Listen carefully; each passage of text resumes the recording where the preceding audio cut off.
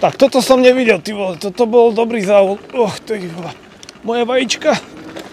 Ahojte, opäť po dlhom čase. Dnes tu mám pre vás Gunnar, respektíve, pardon, Gunai MX-02S. Je to veľký 26 palcový fatbike pre podľa mňa nenáročných používateľov. Dokonca tu máme aj veľmi vysokú maximálku. No a ak vás tento produkt zaujíma, tak o tom sa dozviete teraz viac z tohto videa, z tejto recenzie.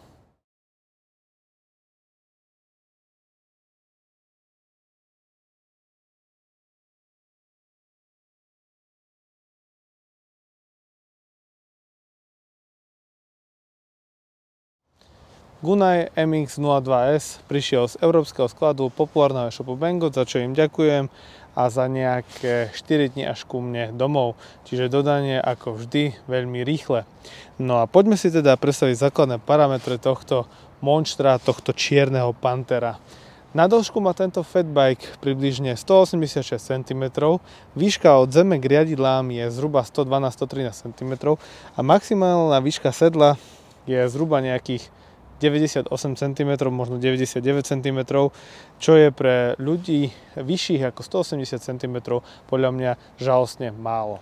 Potom šírku riadidiel, tu máme 70 cm, čo by mohla pre väčšinu ľudí postačovať a ak ste v bytoch alebo máte užšie dvere, tak budete aj lepšie vedieť manevrovať. No a v náboji zadného kolesa tu máme 1000 W motor, v tomto čude sa nachádza 21 A ovládač a tuto máme 17 A 48 V batériu. Čo je trošku smiešné, a to možno aj uvidíte z tejto strany, sú 160 mm brzdové kotúče. Samozrejme brzdy, brzdy sú hydraulické od spoločnosti Dyson. Nie sú ani dobré, ani zlé, tak akurát. Čo sa týka prehádzovačiek, vpredu máme 3 prevody, vzadu máme 7 prevodov, úplne, radenie úplne jednoduché od Shimana, úplne to najlacnejšie, ktoré asi na trhu je a nemám veľmi, čo by som tomu vytkol, akurát to, že vo vyšších rýchlostiach je prakticky pedálovanie úplne zbytočné pri tejto konfigurácii. No a ak sa pôjdete tuto bližšie ku mne, tak môžete vidieť tento veľký, neviem, asi 4-4 palcový displej, ktorý má podľa mňa aj pre slepých viditeľný je. A úplne tomu najviac dominuje tento rýchlostný režim alebo rýchlosť, ktorá sa tuto ukazuje. Toto tu máme počet rýchlosti od 0 do 5, môže byť od 0 do 3, 1.3, od 0 do 5, 1.5 až do 9 rýchlosti si tu môžeme pozrieť. Toto tu je ukazovateľ baterky, ktorý avšak neúplne dobre funguje, to znamená, ak máte 3 paličky, myslíte si, že máte ešte stále nejaký nejakú šťavu, ale už budete v podstate na nule. Čo je super a čo veľmi kvitujem sú volty. Viete si týmto M-kom tuto prepnúť tie volty, uh, volty alebo medzi ostatnými ukazovateľmi. A 48 V znamená, že som niekde na úrovni asi 50-60%.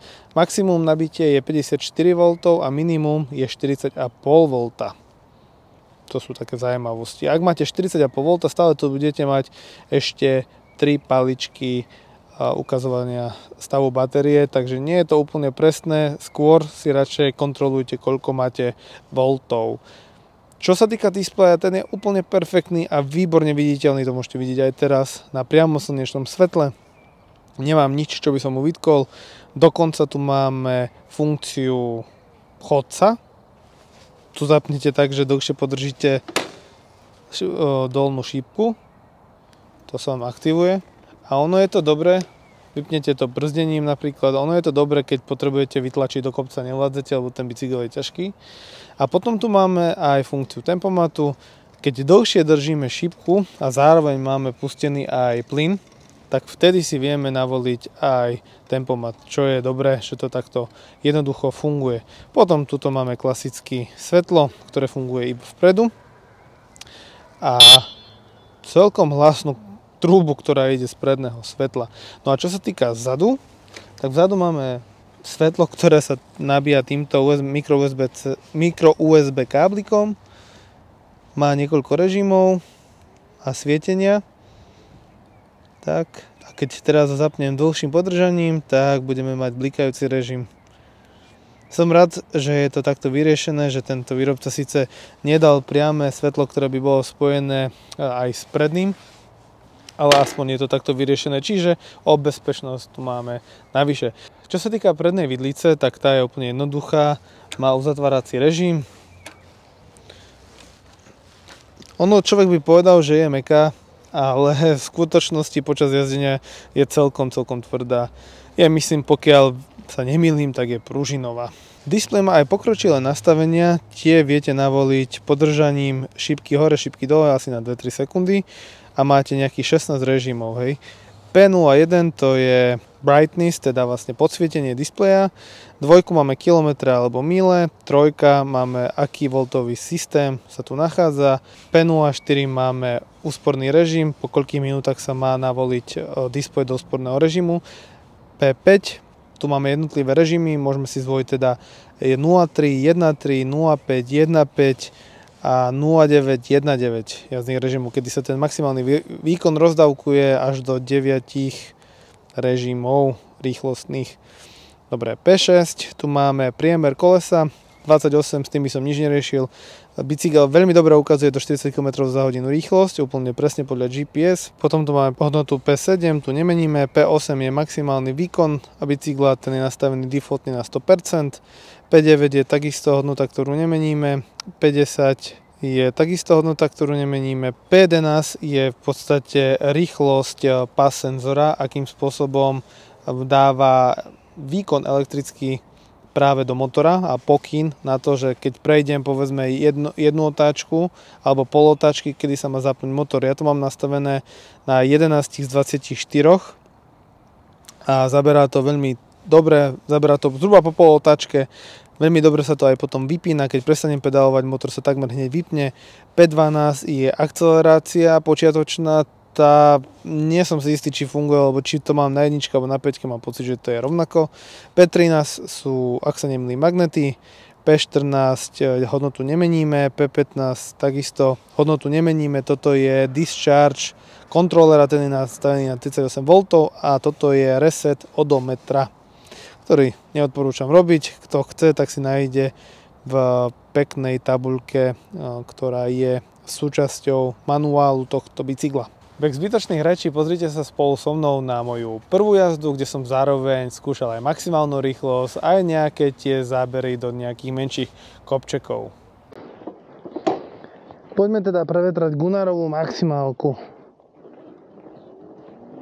Rozbeh je veľmi pozvolný.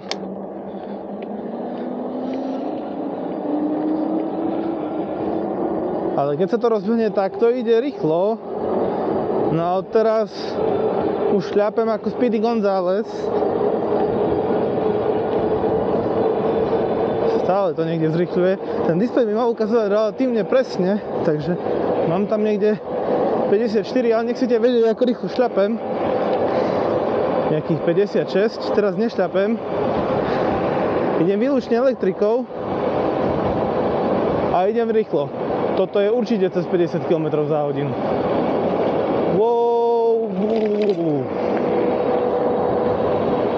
OK. Tak toto vie byť naozaj dosť rýchle. Wow. Dáme si tempomat. Tým, že som pridržal spodnú šípku a mal som zapnutý plyn, tak mi to umožnilo dať cruise, a teda tempomat. Vietor je taký, povedal by som, že takmer minimálny. Myslím si, že nejakých 50 som určite mal, možno že aj viac. Som zvedavý, čo na to GPS.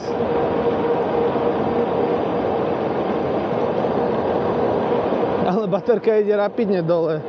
Pozrieme volty, 48,2 v záťaži a to som nebol úplne na 100% nabitý, Mal som nejaký asi 53 V, niečo som ešte prešiel, ale nie je to zlé.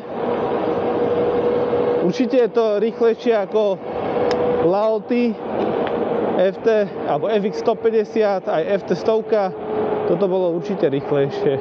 Opoznanie rýchlejšie. brzdy z 30 bez problémov. No, aj sme nechali nejakú čiaročku.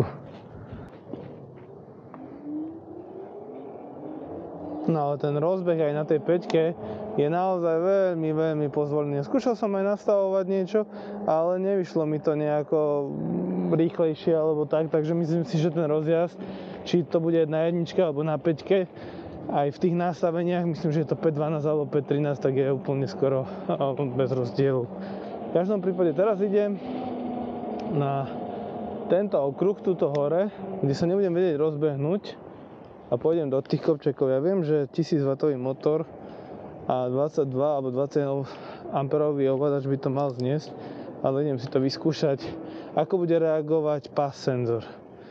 Dobre, ten zaberá po štvrť otáčke na prevodníkovi a aj je tam minimálne oneskorenie, keď prestanem pedalovať.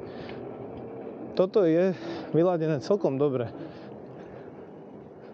Takže páči sa mi to, ako to zaberá. A idem teraz na dvojke a úplne bez problémov. Ja len fakt len krútim tými nohami, nič nerobím.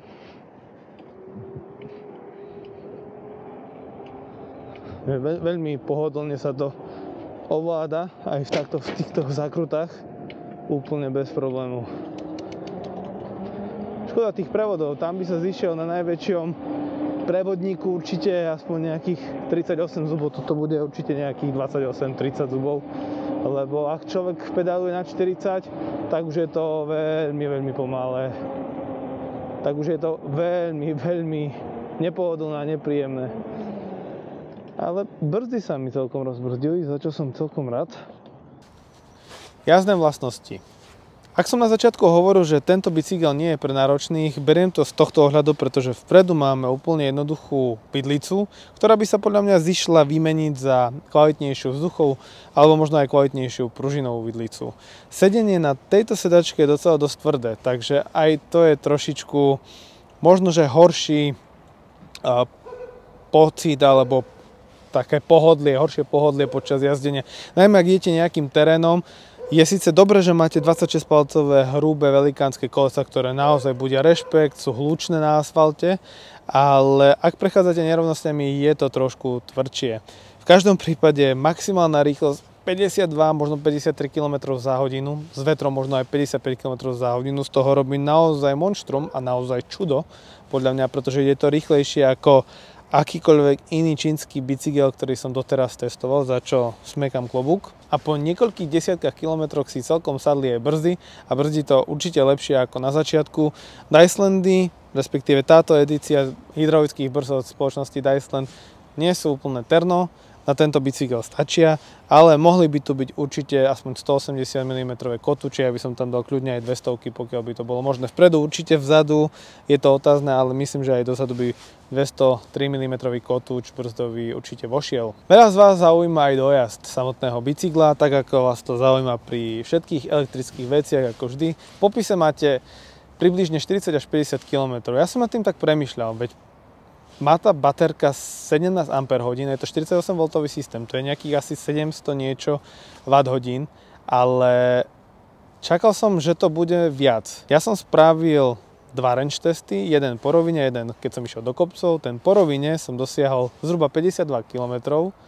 Ja mám približne 100 kg, výšku 1,90 m aj s teniskami a išiel som približne celou cestou 30 km za hodinu. Čiže ak to tak vezmem, keď je maximálka 52-53 km hodinu, išiel som možno tak na úrovni 55 až 60 maxima.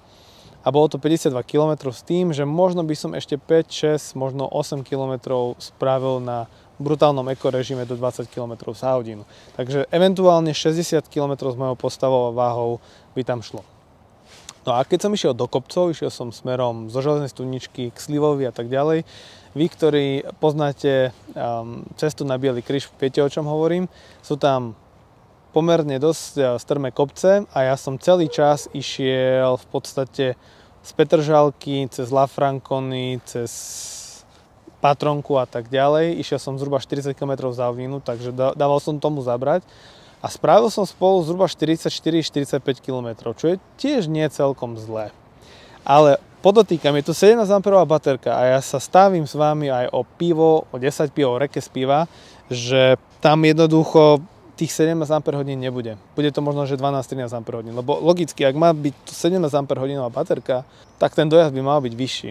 Nemyslím si, že je to na úkor toho výkonu, ktorý je tu v tomto ovladači a je tu 1000W motor, ale myslím si, že tam tá reálna kapacita tých 17 Ah nie je. A preto si myslím, že ten bicykel stojí koľko stojí, že je to zhruba tých 1150-1160 kuponom. Pred rokom tento bicykel stal o 200 viac, takže myslím si, že v súčasnosti je tá cena celkom adekvátna. Ale ak si budete myslieť, že na tom spravíte 100 km dojazd, tak pokiaľ nebudete mať 50 kg, tak asi ten 100 km dojazd tam nebude. A tých 40 a 50 až 50 km, ktoré uvádza výrobca, myslím si, že to aj bude sedieť. No a vo vnútri máte aj nabíjačku, ktorá je 2 A, takže nabitie toho bicykla aj trochu potrvá. Približne tak asi 5-6 hodín. Dobré a zlé vlastnosti, ktoré tento e-bike má. Ako dobré vlastnosti by som mohol povedať tento jednoduchý dizajn, ktorý je úplne, tento bike je celý čierny, kolesa má čierne, tie špajle vo vnútri sú takisto čierne, matná čierna konštrukcia v strede sa mne veľmi páči. Výkon na rovinke je to veľmi rýchle, je to svižné aj do kopcov, pokiaľ máte dosť baterky. Keď už tej baterky obúda, už je to lenievejšie do tých kopcov. V každom prípade maximálna rýchlosť podľa môjho GPS je 52 km za hodinu, čo je super. Ono, dokonca aj ten displej premeriava zhruba do 40 km úplne presne. Potom sa tá od tých 40 km za hodinu vyššie už je tam tá odchýlka zhruba 3, 4, 5 km za hodinu. V každom prípade, ak budete jazdiť do 40 km za hodinu, tak ten údaj, ktorý je na displeji, mal by byť totožný s GPS. Čo sa mi ešte veľmi páči, a to som už párkrát spomenul aj v tom priebehu tohto videa, je samotný displej. Je perfektne čitateľný na slnku, vidíte všetky údaje, ktoré potrebujete naozaj vo veľmi veľkej výške a veľkosti. Takže myslím si, že je to veľmi dobre urobené. Takisto, čo som rád, sú tieto vodeodolné konektory, ktoré sú poprepájané a idú a vedú až túto do riadiacej jednotky. Výhodou toho je to, že ak vám nesedí tento typ plynu, tak ten plyn si viete odpojiť túto a kúpiť si s touto koncovkou úplne iný. Na trhu a na AliExpresse špeciálne ich nájdete množstvo. Ako každý bicykel aj tento má nejaké tie nevýhody. Pre mňa najväčšia asi nevýhoda je, alebo sú tieto veľmi smiešné blatníky, ktoré tam podľa mňa asi nemajú čo robiť, ale keď prší, tak potrebujete asi mať trošku ochranu nejakú. Preferoval by som tam určite iné blatníky, ktoré sa dajú na AliExpresse za celkom dobré peniaze kúpiť a určite aj lepšie vyzerajú a lepšie vás ochránia. Tie brzdy som si na začiatku myslel, že to bude katastrofa, nechcelo to brzdiť. Ono sa tie brzdy nejako rozbrzdili a sú celkom fajn, ale ak chcete brzdiť z 50 km rýchlosti s týmito brzdami, je to také ohubu trošku tam by sa fakt pridalo mať 180 alebo 200 mm kotúče, minimálne vpredu a vzadu aspoň 180 mm kotúč. No a bicykel prišiel aj trošičku roz, s rozladenou prehadzovačkou a myslím si, že to tiež by mohlo byť o čosi lepšie, aby Číňania to trošku lepšie pripravili do tých balíkov tie bicykle aj s tými prehadzovačkami. Lebo potom pokiaľ človek nie je v tom skúsený, tak mu potrvá dosť dlho nastaviť tú prehádzovačku. Počas testovania som celý čas premyšľal nad tým, pre koho je Gunnar, tento Gunnar Čierny Panter určený. A sám neviem, pre koho to je určené, pretože do ťažkého terénu myslím si, že to moc nebude. Bude to pre tých ľudí, ktorí radi chodia povedzme po poliach, po lúkach a potrebujú niečo také fajné, trošku mekšie, čo sa týka pneumatik. A tie pneumatiky napríklad zvládnu aj väčšie diery bez toho, že by ste si to nejako veľmi všimli. Buchnúť to buchne, pretože tá vidlica je pružinová a nie je najmekšia. Chyba možno, že vzadu nejaké pruženie, ale nie je to až také zlé. Myslím si, že svojich fanúšikov si to nájde v mestách alebo ak cestujete z bodu A do bodu B. Vzadu máte parádny nosič, ktorý sa dá vymontovať a na ten nosič si môžete dať čokoľvek budete chcieť. Či si tam dáte košík alebo detskú sedanku, tak to môže byť super. Rozhodne počas môjho 150 km testovania sa veľmi veľa ľudí na mňa pozeralo, že na čom to vlastne idem. Lebo vyzerá to ako motorka, ale ono je to stále bicykel. Takže za tú cenu si myslím, že svojich fanúšikov určite už nájde. No už to bolo všetko, čo som vám chcel povedať k recenzii na tento 26-palcový Fatbike Čierny Panther Gunnar alebo Gunnar, ak chcete MX-02S. Dúfam, že sa vám video páčilo. Ak máte nejaké otázky na tento bike alebo iné produkty, ktoré zvyknem testovať, tak pokojne sa pýtajte do komentárov. Ja sa s vami vidím pri ďalšom videu, pri recenzii alebo testovaní ďalších elektrických a možno aj neelektrických vecí. Čaute.